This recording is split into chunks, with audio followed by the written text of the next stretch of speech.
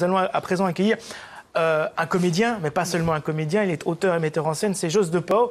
Il est né à As au début des années 50. Il crée la compagnie Radez qui va lui faire faire un, peu le tour du monde entre plus ou moins la moitié des années 70 et 1984. Après quoi, en 85, il va entamer une carrière solo. Alors au cinéma, ben, on l'a vu dans Crazy Love, Just Friends ou encore Hombres Complicados. Et puis sur scène, où il mène une carrière donc depuis maintenant 25 ans, euh, souvent en solo. On l'a vu dernièrement dans Dicile Vandimir ou encore la version Close, euh, qui a, qui a même été euh, édité aujourd'hui en français. Alors, Le temps d'être, que voici, euh, c'est un, un, recueil. Alors, c'est un, un, livre autobiographique, quand on lit derrière, est un ouvrage autobiographique. En même temps, c'est plein d'histoires. Il y a une trentaine, une quarantaine de, de petites histoires euh, qui sont formidables. Ce bouquin a eu un succès dingue en Flandre et bah, aujourd'hui, il est traduit en français. Vous avez lu ce Succès mérité. J'ai adoré. Pour moi, c'est un, mi-chemin entre le conte, la nouvelle et la petite histoire qu'on devrait continuer à nous raconter quand on est adulte. Moi, je, suggère de remplacer Cendrillon par le faux mariage blanc, par exemple.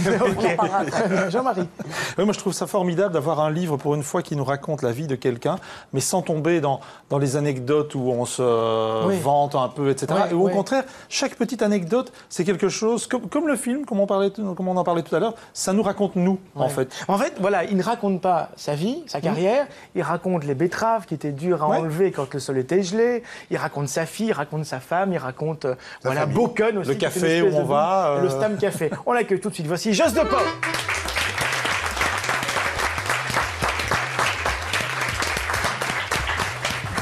Bienvenue. Alors c'est assez étonnant d'ailleurs euh, ce quatrième de couverture. Le temps d'être, le temps d'être est un ouvrage autobiographique en même temps. Moi je, je, je dis c'est un recueil de nouvelles euh, on n'a pas besoin de savoir que c'est autobiographique. On pourrait se dire, voilà une quarantaine de fictions, et derrière cette fiction, il y a un homme, c'est-à-dire vous. Et c'est une espèce de portrait finalement à travers des histoires qui sont mi-fictionnelles, mi... Euh, voilà. Est-ce que, est que tout est vrai dans ce livre? Non. Non, non, c'est euh, la base de, de tous les textes, c'est l'autobiographie, mais comme dans le théâtre aussi, je ne vais jamais chercher mon matériel trop loin de moi-même. Mais j'ai pris une très grande liberté en, écrivant. La seule chose dont je, dois dire qu'elle est euh, vraie, c'est tout ce que tout ce qui dit ma fille. Oui, ah ben ça on s'est demandé Alors votre fille, votre fille Anna a de ces fulgurances comme ça. Philosophe. Hein. Ah oui, c'est une philosophe votre fille. Oui, oui, tout à fait. Elle, elle, a maintenant 16 ans aussi. Ça, je dois dire toujours quand je parle de ces textes parce qu'elle ne veut pas que les gens pensent qu'elle a que 3 ou 4 ans.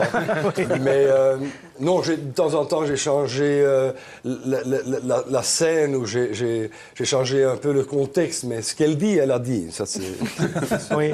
Euh, tu t'appelles Anna, ça veut quand même dire fleur en japonais. Oui, papa, je suis une fleur, mais je suis née, hein, pas cueillie.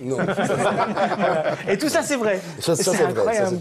Alors, il y a ce personnage qui revient régulièrement, qui s'appelle Boken, et qui est. Alors, c'est un personnage qui qui rentre dans une librairie pour apprendre les poésies et puis qui ressort sans acheter le bouquin. Donc il est riche de ça. Et je trouve que c'est une très belle idée euh, finalement par rapport à la possession, par rapport à la propriété. Voilà, est-ce qu'on est qu'on possède un livre parce que on l'a dans sa bibliothèque ou dans sa tête finalement? C'est qui ce personnage, Boken? Mais c'est l'homme que je voudrais être. Hein. Mhm.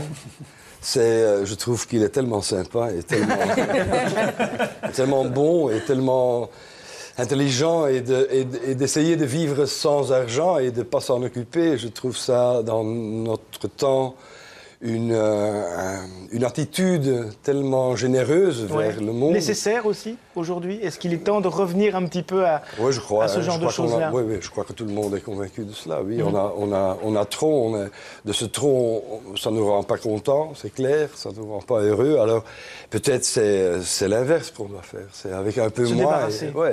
Et, et, apprendre les, les, les, de la poésie par cœur. de, de pas simplement tirer ce livre de temps en temps et lire quand quelqu'un est mort. valeur aussi dans, dans, tout le livre, c'est ça. Quand vous observez votre petite fille jouer avec les fourmis, quand vous racontez les jeux dans la cuisine où votre maman devait payer une heure de tranquillité en recousant un bouton, c'est presque toute l'illustration de ce que pense le fameux Broken, non? Oui, absolument. Non, c'est quelque chose qui m'a... Je suis né en 52, c'était euh, c'était une époque... Euh, il y avait encore un futur.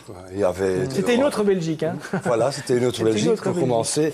Euh, mais, mais c'était, il y avait moins. On était six à la maison et j'ai eu une jeunesse fantastique. Et il y avait moins et il y avait plus. Et, c'est ça. Boken sort de là aussi. et lui par contre, lui, il continue cette, façon de vivre. Ouais, Soraya. Bon, moi, je résiste pas à revenir sur cette fameuse nouvelle que j'ai adorée, Le faux mariage blanc. Donc, c'est l'histoire, on va la faire un peu à la manière de Cendrillon. C'est l'histoire d'une princesse qui est danseuse et puis l'histoire d'un prince charmant qui est comédien. Ils vivent ensemble, elle vient du Japon, il est belge. Et a priori, ils n'ont pas spécialement envie de se marier, sauf qu'à un moment donné, ça devient plus pratique pour elle d'être belge. Et donc, ils vont se marier. A priori, ils n'ont pas envie, mais ça devient tellement complexe à cette maison communale qu'ils vont finir par avoir envie de se marier pour de vrai. C'est Cendrillon des années 2000. C'est votre regard, ça, sur, sur le mariage et sur l'engagement, ça? C'est pas mon regard, c'est mon histoire. Ça, c'est la vérité. J'écris ce qui s'est passé, là. C'était... C'était... Euh, j'ai vraiment jeté cette chaise. J'ai fait ce. les, gens croyaient vraiment que vous vous mariez, euh, que c'était un mariage blanc, que vous, n'aviez bah rien à faire ensemble. Moi, j'avais 10 ans de plus. Enfin, j'ai toujours 10 ans de plus. et, mais dans ce temps, comme ma femme est japonaise, elle avait, elle, elle avait 21, elle avait l'air de quoi, 15. Et moi, j'avais 31, j'avais l'air de 45.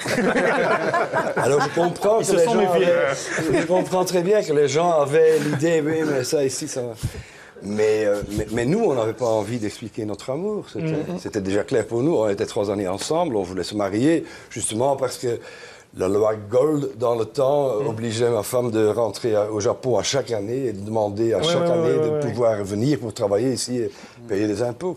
C'était. Bon, vous avez dû gueuler quand même. C'est-à-dire que vous avez fait l'acteur. Oui, j'ai fait, j'ai fait les cris qu'on apprenait, qu'on avait appris au conservatoire à Bruxelles. C'est le cri, euh, le cri de. le cri primal. Oui, oui, oui, oui, le cri primal. Ça sort ici et je l'ai fait ça à marcher. et voilà, ils se sont mariés. Alors, c'est un, bouquin, quand on sort de ce bouquin, on se dit, mais oui, on est tous nés quelque part, on est tous deux quelque part.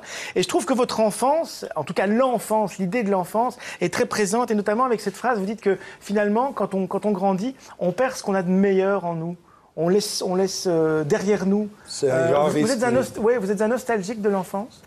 Oh, nostalgique, c'est trop dit, mais, euh, c'est pas pour rien que je, que je, que, je, travaille au théâtre, là où on peut encore garder cette enfance, où les meilleures choses, cette générosité du jeu, cette, cette concentration aussi qu'un enfant, qu'on perd souvent, parce que la vie devient compliquée. Mais je trouve que, l'être humain, elle, est plus beau, le plus beau quand il est concentré, avec les athlètes, avec les, les, artistes. La concentration, c'est d'une beauté. avec ça, Sam, quand on grandit, on, perd un peu de... On perd la concentration, je crois. Et on perd le meilleur, entre guillemets c'est cruel comme constat, j'aime pas trop. Hein. Ou je ne me rends pas compte, je crois qu'on perd des belles choses, mais on en retrouve d'autres aussi. On essaie de retrouver éventuellement par son métier. non, mais il y a quand même des bons moments aussi. Hein. Il ne faut pas mentir à ce point. Non, mm. je crois que c'est vrai, mais il y a des bons moments euh, encore. Euh, Tania, voulez dire quelque chose? Non, mais je pense qu'il y a effectivement, plus on grandit, plus euh, on apprend des choses de la vie, plus on a une conscience qui, qui se met en place et qui forcément euh, enlève un peu de, ce, de, de cette innocence. C'est peut-être la simplicité de l'enfance qu'on regrette. Enfin, les choses finalement. Euh, oui, mais ça permet de jouir d'autres choses aussi. Parce que moi, c'est ça quand même qui me frappe à la fois dans le livre et dans le film. Euh, c'est que j'ai l'impression que là, on donne un peu l'impression ah, c'était tellement mieux avant. Hein, c'est nostalgique et tout. on voudrait revenir enfant. Moi, c'est pas ça que le film raconte et le livre non plus. C'est plutôt quelqu'un qui, dans les deux cas, regarde ce qui s'est passé dans son passé pour continuer à avancer et vivre aujourd'hui. Euh, quand, quand Jos de Pau parle de sa fille, euh, sa fille lui fait réfléchir à certaines choses aussi. Il s'énerve d'ailleurs parfois, parce que là on donne l'impression d'un homme parfait, hein, mais, euh, mais il s'énerve, hein, il le raconte. Hein, quand elle l'énerve, sa fille avec ses questions, à un moment il lui dit bon ça va maintenant. Hein. Et alors là, là il fait l'acteur à ce moment-là. J'aurais dû l'amener aussi. à 16 ans, vous vous énervez encore sur elle Tout à fait. C'est chez Genèse Édition, Le temps d'être, Jos de Pau.